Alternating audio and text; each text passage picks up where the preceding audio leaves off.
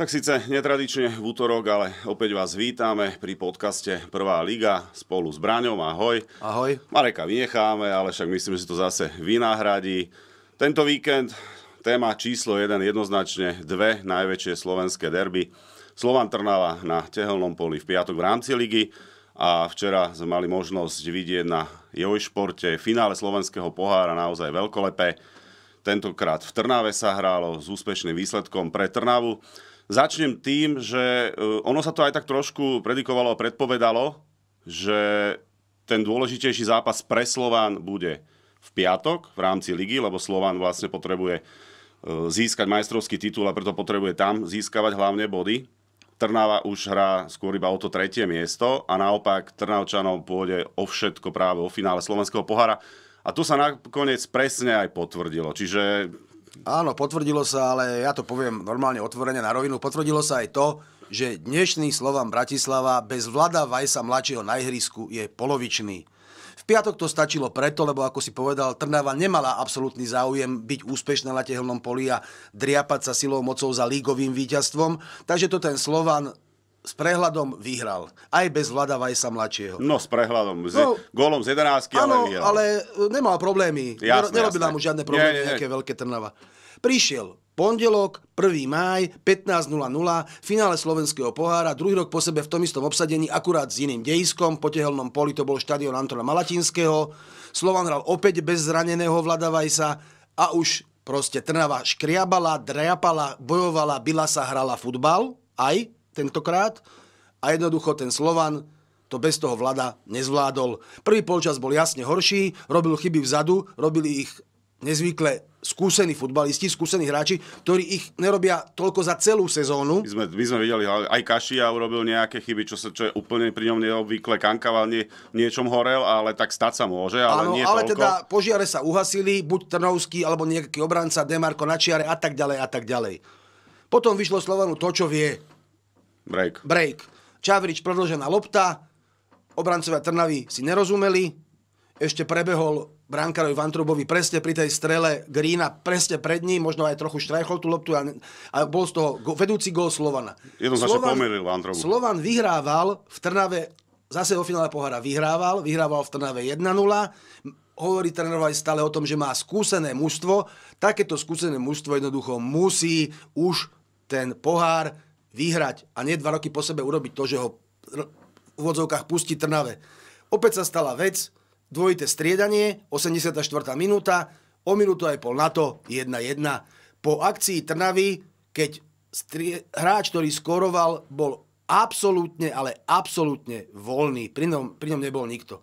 A už bolo 1-1 a bolo zrejmé, že bol som veľmi zvedavý, ako sa Slovan z tejto šlamastiky vyhrabe, ale bolo mi spôsobom, istým spôsobom isté, že bez Vajsa z to, mladšieho sa z tej šlamastiky nevyhrabe. No a, tak tom- sa aj stalo. A v tom čase už aj bez Čakvetadzeho, čiže tam už vlastne chýbala tá nejaká myšlienka stredová. A mne sa páčilo na druhú stranu zase Mišo Gašparík, ako pripravil ten tým aj na jeden, na druhý zápas. Samozrejme, asi chceli získať aj na tehlnom poli. Ale už len tie striedania, vlastne, ktoré urobil v piatok pred finále, čím potvrdil, že to finále bolo pre nich top proste moment sezóny. On vymenil prakticky štyroch hráčov, následne aj piatého a naozaj nechal ich pošetriť a s týmto zjavne má Slovan veľký problém. Lebo vlastne za ňo musia hrať neustále tí istí. Tak, takisto ako to hovorí tréner Weiss, že ťahá vlastne tým iba 10 tých istých hráčov, ale ťažko sa už on môže tiež teraz vyhovárať, čak už, už aj on zasahoval do tej zostavy a do toho výberu, ktorých dneska tam má aj na tej lavičke. A je to zvláštne. Barsegian na jeseň vynikajúce výkony, teraz je je, hrôza, teraz je je hrôza. neviditeľný. Ak ba kedykoľvek tam pošle, hovorím, on má skôr iba nejaké záblesky, ale proste tam musia naozaj žrať, žrať tú zem, žrať trávu tí hráči, keď ich tam, aby u, ubránili ten výsledok, to jednogólovi, čo si myslím, že teda ani nie je na úroveň Slovana. Slovan by mal hrať Áno. vpredu až do konca, Áno. ale jasné, všetko treba podriadiť tomu, čo potrebuješ a ideš získavať, ale dve minúty po striedaní inkasovať takým spôsobom, že Azevedo vlastne voľný, a Tajvo totálne voľný, kde neviem Kašia prečo sa stiahoval k vlastnému brankárovi, ale nezabezpečoval ten priestor, odkiaľ jediný mohol, mohol padnúť vlastne gól. A jediný hráč, ktorý bol nebezpečný v tej chvíli 16 bol Tajvo a ten ostal absolútne nepokrytý.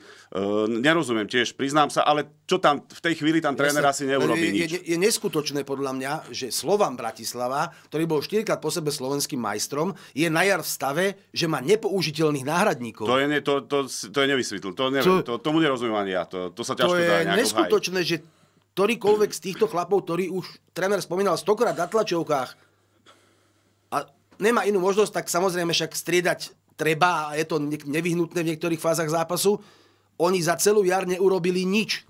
Nič. To sú nepoužiteľní náhradníci a ja neskutočne, že sa v takom stave ocitol Slovan.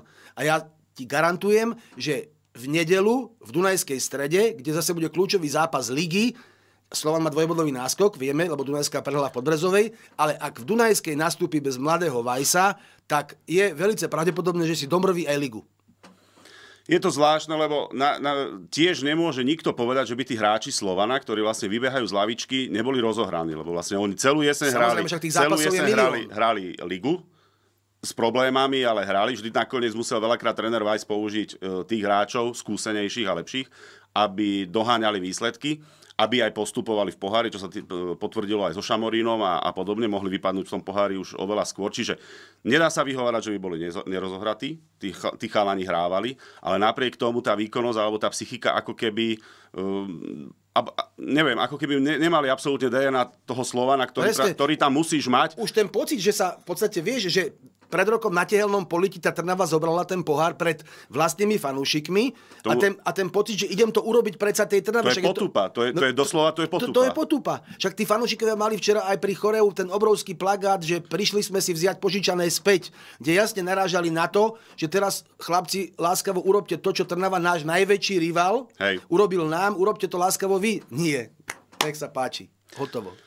Na druhú stranu veľká poklona, Samozrejme. veľká pochvala pre Trnavčanov, lebo, lebo vravím, tréner Mišo Gašparík urobil fantastickú robotu, pošetril hráčov, ten výkon vlastne sa gradoval, to, ako to potreboval, aj keď teda tá Trnava prehrávala, ostala pokojná, urobil vynikajúce striedania, trošku tam aj pomenil, pomenil ten systém, tú schému, on, posunul on... sa do... Čiže, čiže každé jedno ano. rozhodnutie, aj ten hráč, ktorý tam nastúpil, či bol vlastne Kubo Pau, dal nakoniec... Tá hlavička bola víťaz, krásna. Da, dal nakoniec ako striedajúci víťazný gol, pritom v piatok zase ako keby zavaril tou nešťastnou jedenáctkou, ale musel na poslednú chvíľu zaskakovať na poste stopera, ktorého nehráva.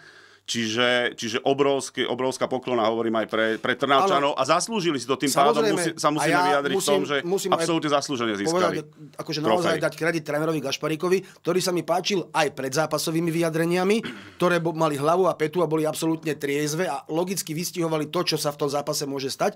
A páčilo sa mi aj to potom, keď vyhrali, že tiež ako to hodnotil, dal najavo jasne svoje šťastie a to, že Trnava ako pri svojej storočnici a prvýkrát vo svojej storočnej histórii vyhral vlastne slovenský pohár druhýkrát po sebe, čiže prepísal históriu a on to tam sám povedal, že oni zmenili rozostavenie, lebo jednoducho vedeli, že to, čo doteraz hrali Slovanom, so Slovanom, že to jednoducho nešlo. On to povedal, posledných 7 zápasov, ten včerajší ešte nerátam, Hej. pred ním, dala Trnava Slovanu jeden gól. gól. Aj ten zo štandardnej situácie. Čiže Gašparik spomenul, že my sme vedeli, že niečo musíme urobiť, aby sme s tým Slovanom mohli hrať, aby sme mohli byť úspešní. Urobili to, urobili to vynikajúco a majú pohár. V druhom polčase vlastne Slovan zachránil aj dvoma vynikajúcimi zákrokmi Trnavský brankár, čiže mohlo byť svojím spôsobom, e, mohla vstúpiť tá Trnava tým gólom do zápasu aj skôr, ale Jasné. Slovan má, Slovan má brankára. Momentálne to vyzerá, že má brankára, teda hádá mu vydrží aj na, do ďalšej sezóny, lebo už sa vlastne špekuluje, že mu v lete končí zmluva, ak sa nemilím.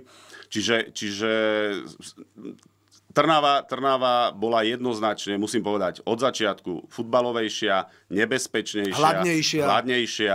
Presne tie atribúty, ktoré aj, ktoré aj tréner Gašparík spomenul. A je paradoxné a zvláštne, že ide takým tým silovým až, až tvrdým spôsobom hry, núti tých hráčov a pritom on a, ako hráč sám bol taký jemnulinky, vynikajúci, vynikajúci technik, Áno, ale... s vynikajúcou lavačkou v tej Trnave ho niekedy až vypískali za to, že nešiel do toho tak dravo, ako, ako, ale mne sa neskutočne aj vždy páčil ako hráč, ale že presadzuje a zasadzuje sa za taký systém hry, ktorý on svojím spôsobom sám nikdy Ktorý istým spôsobom možno bolí, ale keď sa to urobí dobre, tak to prináša ovocie. Musím povedať ešte, že Slovan môže dvojnásobne mrzieť. E, vôbec aj tá, tá strata tej kondície a tej sily, lebo už v Skalici hral zbytočne, predlženie 120 minút, tí chalani boli unavení, zatavili sa svojím spôsobom, lebo opäť museli nakoniec hrať tí istí. Teraz v Trnave mali ďalší prídavok, opäť 30 minút. Čiže toto môže byť dosť rozhodujúci faktor aj teraz najbližšiemu zápasu, vlastne v nedelu v Dunajskej strede, ak opäť použije tých istých hráčov. To bude musieť. Lebo, je to, lebo, lebo tá námaha, akože to sa musí prejaviť a hlavne pri veku hráča, ktorý má 30 a, a vyšší vek. Čiže Jasne. čo si myslíš tomu, smerom k tomu zápasu v tej Dunajskej strede? Spomenul si, že bez Vlada Vajsa, no, či to nepôjde. Ja si myslím, že teda sna- asi sa budú snažiť. No práve, že asi preto nehral teraz, že to všetko smeruje k tomu, aby v Dunajskej strede hral. Nastúpil. Ale zaujímavé je to, že vie, že uh, ideš hrať v pondelok pohár a v nedelu sa ti podvečer stane taká vec, že ti Podbrezová vymastí Dunajsku a ty si zrazu načítal ligy s dvojbodovým náskokom, že či by to mohlo byť ešte taký psychický, že si predstav, čo ten, čo, čo ten Slovan, čo sa mohlo vlastne tento týždeň podariť v podstate, alebo v priebehu týždňa. Mohol sa dostať vďaka Podbrezovej k dvojbodovému náskoku, samozrejme vďaka svojmu víťazstvu piatkovému na Trnavou, ale vďaka víťazstvu Podbrezovej tomu nahralo, má dva body náskoku, mohol v pondelok vyhrať pohár, až v nedelu to mohol takto, že šup, potvrdiť na, na Žitnom ostrove, no dobre. A to už je ideálny scenár, akože naozaj pre fanúšikov Slovana, tak to vo futbale nechodí ani v živote, že či všetko vidie, to mi, to mi je jasné, ale máš pravdu. Teraz sa pozerajme už na to, čo bude. Bude to v Dunajskej strede, Dunajska vie, že to pokašľala v Podbrezovej a vie, že hrá doma, kde bude plný dom naozaj fanatických fanúšikov, ktorí milujú DAC, a budú ho hnať dopredu. A nenávidia Slovan. A nenávidia Slovan, tak to je taká... Ale to je rivalita. Normálna tam, vec. Ale ja to hovorím tak, ako to je, lebo to proste k tomu patrí. Samozrejme. Však. No a teraz otázka znie. Áno, Slovanu v podstate stačí remíza. Ale hrať na ňu by bolo cestou asi do pekla. To sa nedá hrať. Áno, čiže som strašne zvedavý. Teraz naozaj, už máš útorok, tí hráči sú dobití zo včera, unavení ako kone. Čiže teraz to treba smerovať tak, aby v tú nedelu boli zase schopní odohrať v podstate finálový zápas sezóny. Lebo pokiaľ by tam Slovan vyhral, čo si budeme hovoriť, budeme mať dve kola pred koncom 5 bodový náskok a je vymalované. Ale naozaj som veľmi zvedavý, ako sa teda vyvinie situácia okolo kapitána Slovana a že či to teda lekári ho dajú dokopy a bude k dispozícii, alebo či teda, teda či Slovan tam bude musieť sa zaobísť bez neho. No. Tréner Vaj sa už vyjadril vlastne pred tým finále slovenského pohára, že by chceli mať všetko, chceli by mať double, ale môže sa stať aj to, že nebudú mať nič. A teraz vlastne tá psychika možno, že práve nahráva tomu, že to bude mať veľmi komplikované Slovan, aby keď už ten slovenský pohár, keď už on ho prišiel, lebo teraz musí všetko urobiť preto, a to sme sa bavili, Slovan musí byť majster. S týmto rozpočtom, s týmto kádrom, o tom sme hovorili niekoľkokrát, ale áno, Dunajska sa prezentuje fantastickými výsledkami, pe- peknou hrou, čiže vynikajúci, opäť vynikajúci tréner Čiže jednoduché to mať e, nebude a to by bolo asi obrovské sklamanie a neviem si predstaviť, aké by to malo dôsledky, ak by Slovan v Dunajskej prehral a prišiel by o titul. Jasné. Ale tiež, aj keď sa tréner Gula všemožne snažil nevystavovať svojich hráčov tlaku a aj to takými svojimi vyjadreniami a tak, vidíš, že proste jednoducho ten tlak príde. Tá Dunajská nie je úplne zvyknutá hrať do takýchto fáz sezóny o titul a áno, v Podbrezovej mohla vyhrávať, Zlyhal paradoxne najlepší jej strelec a najlepší strelec Ligy Krstovič, keď išiel sám na brankára a napadol to do ňoho. A mohol prihrávať. A mohol prihrávať. A potom gól neprichádzal, neprichádzal, neprichádzal. Dostali v 4. minúte nadstavenia prvého polčasu oni. Zbytočný. Zbytočný úplne po štandardke, keď mohli loptu asi dvakrát odkopnúť a ne, neurobili no, to. Prv, prvá chyba brankára Petraša, ale áno, stane áno. sa. No. Ale Čiže, stále to mohli napraviť. A potom si videl, že ten tlak zrazu a zrazu ku koncu zápasu to už vyzeralo tak, keď že tá Dunajská mohla prehrať 0-4, lebo Podrozová mala obrovské šance. Čiže tlak tu je a teraz je tlak aj na Dunajskej, aj na Slovane. Uvidíme, kto sa s ním lepšie vysporiada v nedelu. Čiže to bude asi takéto nastavovanie hlav celý týždeň. Samozrejme, že regenerácia prvorada, hlavne určite pri hráčoch Slovana, ale Dunajskej takisto. Ale opäť sa potvrdzuje, sme sa tu o tom bavili, že aj v prípade Neapola treba urobiť ten posledný krok v prípade Slovana. Následne teraz to bolo Dunajskej stredy, urobiť ten posledný krok býva to najkomplikovanejšie, najťažšie. Môžeme spomenúť Sparta Slávia, bude ešte zaujímavý boj v Českej lige, môžeme spomenúť Bayern Mníchov, Dortmund si teraz pokazil. Áno na striedačku vlastne Na striedačku si, si to robia. Uh, môžeme spomenúť Arsenal, o ktorom sme sa už rozprávali, že ak nepokašle tie zápasy, a nehovoril som, nehovorili sme konkrétne s Manchesterom City, ale tie ostatné, že urobí ten posledný krok a hlavne v prípade tímov, ktoré nemajú, a hráčov, ktoré nemajú toľko skúseností, v boji o titul je nesmierne komplikované a priznám sa, že pre mňa je prekvapením e, aj tá hra tej Dunajskej stredy, lebo už predtým sme videli, či to bolo aj s Podbrezovou vlastne ešte doma, však prehrávali. Tam dotačali, spomí- a, spomí- a spomínali sme to, že, že tá Dunajska momentálne nemá takú fazónu, za akou sa jej hrálo, keď bola na druhom mieste a vlastne ten Slovan iba naháňala, doháňala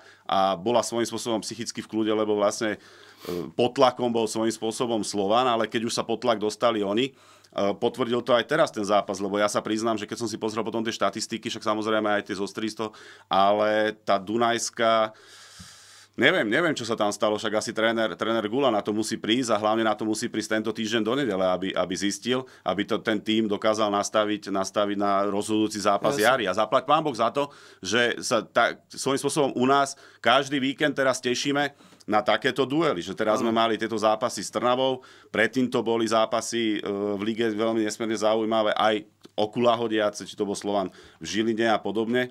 Čiže ja sa teším na tento týždeň, na to, no vy, uvidíme, či to vyvrcholenie bude, alebo čo sa stane, Jasné. ale bude to, bude to pekný podľa Ale vidíš, že aj na druhej strane tabulky, na opačnom pole, ten tlak, vidíš, Trenčín, ktorý sa už už vyhrabal vlastne z tej barážovej priečky, o ktorej sme sa bavili. Hej. Kto vie na nej bude, ako si ty minule vravel, vidíš, Prešov zaval s poslednou račou doma a Košice vyhrali, už sú iba dva body. Čiže, dva body. Ale vidíš, že Trenčín ide hrať s Liptovským Mikulášom, ktorý už od minulého víkendu je vlastne so istým zostupujúcim a získal doteraz 14 bodov v lige úplne úbohých. Na Trenčín s týmto Liptovským Mikulášom Trenčín, ktorý vie, že sa musí udržať nad tou barážovou priečkou. Nakoniec s odretými ušami remizuje 2-2 to prehrával 0-2. Takže a to sme tam spomínali, aj bude teraz o to aktuálnejšie použitie tých hráčov smerom k šampionátu do 20 rokov. Sa ukázalo, aký je aj Gajdoš, teda jeden z nich pre nich nesmierne, nesmierne dôležitý, ale no, prekvapilo ma to a prekvapili ma aj tie ďalšie výsledky, ktoré vlastne Trenčinu nezahrali do karát. No úplne ho vlastne, úplne mu to, Trenčinu to... Prekopali tú tabulku no. presne naopak, ako to malo byť podľa nejakých tých pr- plánov, papierových predpokladov pred víkendom, lebo ťažko sa tiež, že či Vion z dola vyhrá nad Ružomberkom, ktorý bol v Laufe, a rovnako Skalica otáčala, zvládla Michalovce 3-2, čiže pomohli si oni. No a Trenčín zosunuli teraz na tú barážovú priečku a priznám sa, že aj tamto bude ešte nesmierne zaujímavé. No, a, a, a vyzerá to tak, že ešte aj ten Mikuláš bude chcieť akože do toho niečo povedať, lebo tak nechceš odchádzať s tým, že iba čaute a prehrám Jasné. tri zápasy, alebo Jasné. čo ja viem. Takže tiež môžeme sa tešiť, Ružomberok už má istotu z toho 7. miesta, Čiže oni, dajme tomu, sú, sú už majú vymalované a oni sa už môžu pripravovať na baráž o konferenčnú ligu. Takže oni, oni sú v kľude, ale tam hlavne teda Vion, Skalica a Trenčín, to budú mať asi Jasné, je to zaujímavé. Prvé, aj v prvej lige, hore aj dole a v druhej lige to isté. A naozaj som tiež obrovsky zvedavý na ten východniarský súboj, že kto nakoniec teda pôjde priamo do ligy, či Prešov alebo Košice, ale kto bude hrať baráž. No pre Prešov by to bola taká malá tragédia, v podstate stále prvý, už veľmi dlho a keby ho teraz Košice preskočili na záver, tak by ich to asi Prešovčanov mrzelo, no ale nemali by na, tom, na tým veľmi čas rozmýšľať, lebo čakala by ich baráž o ligu, čiže uvidíme, či tam bude Trenčín, Zlaté Moravce alebo, alebo Skalica. No. Hej, ale spomínal som, že si myslím, že kdokoľvek bude v tej baráži, že to bude mať nesmierne ťažké. Predtým, ten, ten ligista. Ten ligista. Lebo predtým to bolo tak, že vlastne zachránili sa tie ligisti, keď hrali s tým tímom z tej baráže, s tým, s, tej, s tým druholigovým. Ale si myslím, že Prešov a Košice majú momentálne takú kvalitu a takú skúsenosť, že tam, tam, tam teda pôjde naozaj to, do, tej, do tej situácie dostať sa do barážové, na barážovú priečku asi nebude dvakrát príjemné. Takže hovorím, máme sa na čo tešiť. No, ja som sa tešil tento týždeň, bol som si pozrieť zápas e, na West Hame v Londýne, tak iba tak okrajovo musím povedať, že každému to jednoznačne odporúčam. Videli sme, zobrali sme sa traja tatkovia aj v rámci také väčšej skupiny. Do Londýna, čas išla podporiť Chelsea, čas išla podporiť Liverpool, vlastne v zápase práve s West Hamom. My sme sa boli pozrieť na West Ham a musím povedať, že celkovo, tak poznáš to, tá organizácia je fantastická, ale zažiť to na vlastnej koži, zápas West Hamu s Liverpoolom, bol nesmierny zážitok, hlavne pre našich 15-ročných, 16-ročných pubertiakov ktorí si to tam užívali, pekne mohli vidieť zo spodu rozcvičku Liverpoolu najväčších hviezd. Samozrejme, ako sa patrilo, následne pekne pozbudzovali West Ham, lebo inak sa to tam v tej dokárskej časti nedá. Predsa len máme sa radi dosť na to, aby sme niekde niečo skúšali. Ale musím povedať, že aj tento zápas e, má teda, bol som, bol som z neho naozaj vykolajený, bolo to, bola to jedna fantázia. West Ham najprv viedol, tá, tie chorály, čo sa začali niesť, tých 60-62 tisíc divákov, normálne zimomriavky, že sa to natáčali na telefón, to bolo niečo neuveriteľné.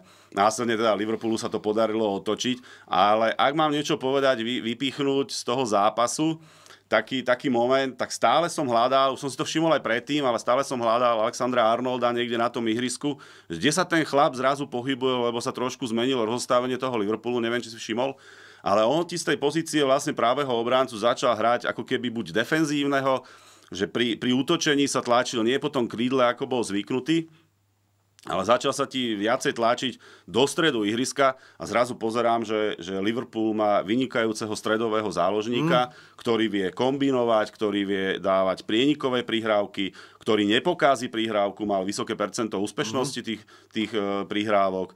Čiže vidieť, že tréner Klopp musel nejaké zmeny nachystať e, v tom Liverpoole a toto je jedna z nich aj smerom asi k ďalšej sezóne.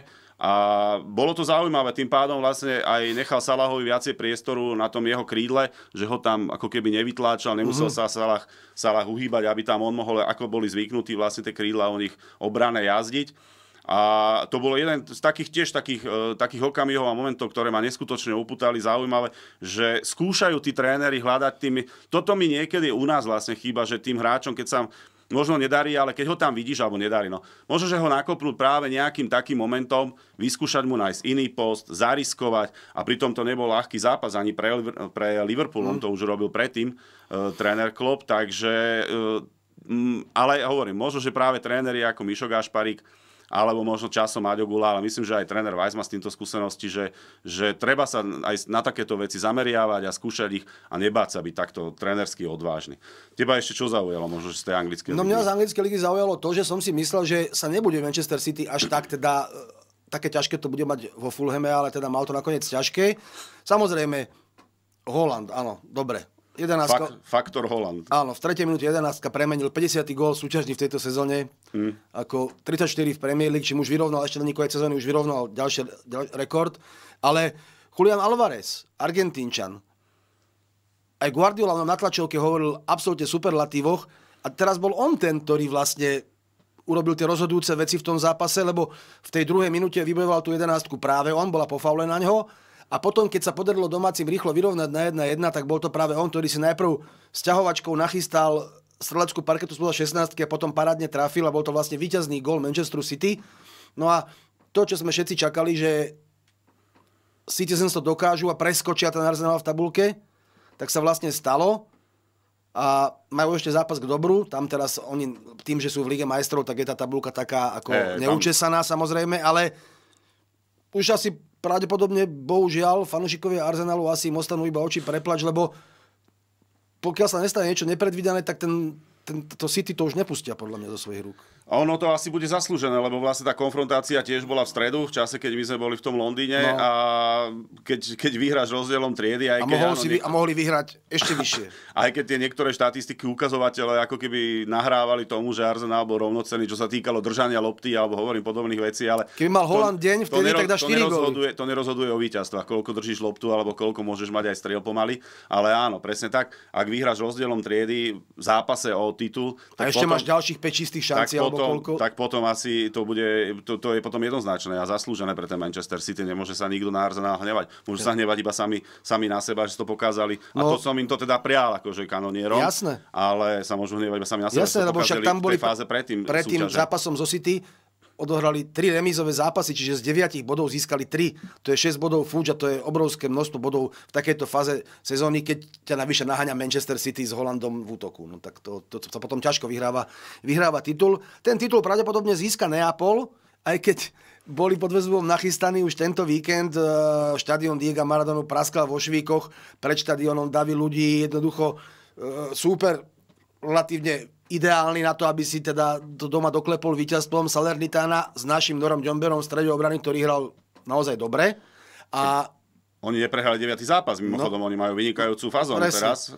No a už vlastne ten, ten vytúžený gól padol, z hodou okolností ho dal hráč číslom 17 za Neapol, teda s číslom Mareka Hamšika, ktorý ho mal dlhé roky na chrbte v drese SSC aj s kapitánskou páskou na rukáve Olivera a chorály, vlajky, spevy, až prišla v 6. minúte individuálna akcia Senegalčana Diu, ktorý najprv nasadil neskutočné jasle Osimenovi, ktorý samozrejme nie je obranca. Áno, a potom ho, si ho nikto nevšímal, až kým došiel do 16 a obalovačkou, lavačkou dal na jedna jedna a vlastne akýby si vypol zvuk na štadióne Diega Maradonu. Je, je, to, je to smutné z toho pohľadu, že už tú fiestu chceli mať a celý doma a Neapol Všetko by, mali pripravené. Preto. Neapol by, obraze povedané, určite horel. No, tak to ešte ten jeden bodík na to definitívne doklepnutie musia získať a najbližšie v Udine. No. Štvrtok Udine, uvidí sa, ale bolo to zaujímavé celý ten priebeh, lebo vlastne aj policia, ja som to tak pochopil, že si vyžiadala dokonca odklad o ten jeden deň toho zápasu, mali hrať takisto sobotu aby to súviselo teda s tým, že už sa vedelo, že či Lácio vyhra, prehrá, aby to, aby, aby to tam mali, ale chceli to mať nejak viacej pod kontrolou, či ich tam, či ich tam mohli potom nejako viacej nasadiť, že tam, že boli státisíce, ako, ako boli nachystáni vlastne, že, že tých, tých Neapolčanov a hlavne, hlavne z toho 33 celého, rokov čakajú. Z, z celého toho okolia tej, tej časti Talianska, čiže, čiže ohňostroje, e, príkazy, vyčistené ulice, boli, boli zákaz vstupu pre auta, proste, aby sa tam aj tak sa čakalo, že sa bude podpalovať zase, že tam proste narobia bengál neskutočný. No a potom sa sklopili uši a mohli ísť domov a budú čakať. No akože je mi to ľúto, ale aj taký vie byť futbal proste. Jasné, to je ale na tom krásne. Majú obrovský náskok a oni ten Nie titul to získajú, to je bez jasné. debaty, že no, ho len, získajú. Len Chceš to mať, chceš to mať čo najkrajšie, pripravíš sa na to, však aj teraz, aj Slovanisti mali samozrejme nachystané trička, aj keď Trnavčania im tiež to vyhodili, vyhodili na oči, to som sa tak na tom tiež pobavil, že no, že však Slovan už mal nachystané trička, však ale aj Trnavčania mali nachystané trička, čiže čo, čo, čo zase, akože čo, čo, čo chcú na nich povedať, že každý si nachystá, každý chce robiť tú oslavu najkrajšiu, ale áno, bude to zaujímavé, teda v tom Taliansku, že ako to vypukne a čo sa, čo sa vlastne udeje a ak, aké potom prebehnú tie oslavy. Ale ja si myslím, že oni povedali, Neapolčania budú normálne, ak, ako sa to potvrdí, oni budú oslavovať až do úvodného kola ďalšej sezóny. To, to bude celé leto, to, to sa tam vyberie podľa mňa na dovolenku tak to bude čistý blázon, lebo to budú, to budú neskutočné oslavy, túto, túto, toto leto, čo sa bude diať teda v Neapole. Po minulom víkende oslavovali fanúšikovia Borussia Dortmund, lebo zakopol, zakopol Bayern, a oni vyhrali a boli na čele, no a týždeň sa stretol s týždňom a smejú sa fanúšikovia Bavorov, lebo zaváhala Borussia teraz pre zmenu a zase na čele, na čele Bayern. Tak som veľmi zvedavý na tieto preteky, že už ani o tom Bayerne som není presvedčený, teda, že to zvládne už do konca, lebo tých zakopnutí bolo tak veľa, že či príde ešte nejaké ďalšie, nepríde, no bude to zaujímavé sledovať ten ich súboj na diálku. Do no, konca. No Bayern hral uh, s Hertou, No, doma. Her, herta ide. Herte ide. Herta to, ide, to, ty, ide dole. To je, to je žiaľ no, pre nás, ale Bayern hral s Hertou a vlastne po pol hodine až sa mu podarilo nejako oživiť a trošku, trošku nakopnúť tú hru a diváci, čo je neobvykle, tak by posielali, posielali vlastne fanúšikov, hráčov cez polčas s piskotom do kabín, čo v prípade Bayernu, ktorý vlastne iba chodí, vyhráva a tiež sa tam iba oslavuje. Hral s posledným. Je absolútne, absolútne neprípustné a, a proste neobvyklé ale nakoniec teda Bayern tú úlohu zvládol, vyhral 2-0, ale vidieť, že ani tí fanúšikovia nie sú stotožnení s tými krokmi, ktoré vlastne Bavori urobili. Vedenie, no. Vedenie teda poslednom období s výmenou trénera vôbec s nastavením a, a prehrami aj zo City v, až hanebnými, no, alebo jak by som to nazval. Aby to no moc neodporovali. No. No, že, čiže, čiže nie je tam nejaká veľká spokojnosť a, a myslia, nie sú úplne tiež presvedčení, že ten titul, tak ako vždy každý rok ho získavali s no, úplným no, prehľadom. po sebe, myslím teraz. Za, no. ako ho získavali s úplným prehľadom, že sa to tento rok podarí, aj keď áno, Dortmund uh, zakopol v Bochume v piatok, len tam sa vlastne tam, tam tiež bola taká, tak, taký zvláštny moment, že Dortmundu moc neprijal rozhodca, nielen, nielen kvôli 11, ktorú neodpískal, ale aj ďalším jeho, jeho vlastne rozhodnutiam, ktoré mali vplyv na, na hru. Ale zvláštne bolo to, že ten rozhodca sa hneď po zápase ako išiel ospravedlňovať a nie som si celkom istý, či to je, či to či to nebolo z jeho strany nejaká taká hra, aby, aby, sa, aby sa rýchlo očistil, lebo nemám rád tieto všelijaké špekulácie, ale tých jeho nepresností v tom zápase bolo niekoľko. A nie vždy sa rozhodca hneď takto rýchlo stegma, hneď rýchlo sa vlastne išiel obhajovať, že však aj on je len človek, ktorý robí chyby, ale tie chyby boli príliš bijúce do očí. Napriek tomu Dortmund musí takéto, ak ideš zase, ak ideš na majstra, Dortmund musí takéto zápasy zvládnuť aj cez rozhodcu. Jasné, akože bez debaty. Čiže môžu si Borussia a fanúšikovia hráči nadávať len ale na seba, ak sa sa im to nepodarí, ak to nezvládnu. Sranda v tých Čechách je zase veselo v súvislosti s tými rozhodcami. To je neskutočné, že e, naozaj tí naši bratia Česi to tam majú v tomto smere vždycky pestre, lebo a zase Sparta, áno, Povedzme no, tak si... predtým to bývala Plzeň, no tak akože teraz no, to... Vždy to je, stále sa tam vždy, niekto, to niekto je. Stále sa tam na niekoho, hej. Slavisti musia byť na nervy, lebo z posledných dvoch kôl určite, keď vlastne Sparta otačala zápasy v posledných nadstavenom čase s penaltami, no teraz v Liberci prehrávala 0-1 ešte v 90. minúte, vyhrala tam 3-1, z čoho dva góly dala z 11. Jedna sa kopala nejaké 95. a druhá v 90. Hej. 101. či v ktorej minúte. No ako je to sila a tam rozhodkyňa za varom urobila chyby. Robí také, to sú, to sú veci, že naozaj som zvedavý, zase ako z toho, ako z toho za riekou Moravou vykorčulujú z tohto zase. Ja sa priznám, že ako futbalista si sám neviem predstaviť a nemal by som z toho asi veľkú radosť, že sa tí hráči vyhrá takým spôsobom, že, že v závere ti k tomu dopomôžu chyby rozhodcov a takéto verdikty. Čiže ja dúfam, že ten e, boj bude férový nakoniec v Prahe a si to rozdajú medzi sebou. Už v stredu vlastne majú no zajtra, finále, zajtra, finále bude veľká, zajtra bude veľká sranda. Je finále zajtra pohára. je finále pohára medzi Sláviou a Spartou, takže už to bude zase jeden fantastický zápas a uvidíme aj tam ten záver ligy, ako, ako sa to nakoniec vyrbí, ale áno, je to tam poukázané presne na to, že až príliš e, sú tí rozhodcovia smerom k Sparte benevolentní a trošku ako keby jej závere pomáhali. No a či, si, či, či takýmto spôsobom získa titul, neviem, či to chcú oni sami, takže sa uvidí, ale na, na, na Margo toho zase ja poviem, že zaplať pán Boh, alebo e, u nás na Slovensku sme sa o, o rozhodcoch neviem, na jar sme sa bavili o zápase vlastne Bystrica Dunajská streda, ktorý nevyšiel, ale musím povedať, že, že tu, na, tu, na, tu na sa o rozhodcoch celkom presne tak, celkom mlčí, že musím povedať, že tak ako sme ich niekoľkokrát ako novinári vedeli skritizovať a poukázať na tie chyby, dnes máš na to ideálne možnosti, lebo máš niekoľko opakovaných záberov a áno, ak je to jedna chyba v zápase, tak ešte si povieš, ale ak ich je niekoľko, tak už tá tendencia asi je taká, že ten rozhodca tie chyby prehliada, alebo teda tie, tie veci prehliada a chybuje na schvál. Ale musím povedať, že v tomto klobúk dolu, čo robia rozhodcovia a tým že, tým, že o nich nie je počuť, to je tá najlepšia vizitka, ano. akú môžu mať. Rozhodca, o ktorom sa nerozpráva, je najlepší rozhodca. No. Čiže, čiže áno, tak ako sme ich kritizovali, tak ich, tak ich skúsme aj takýmto spôsobom pochváliť.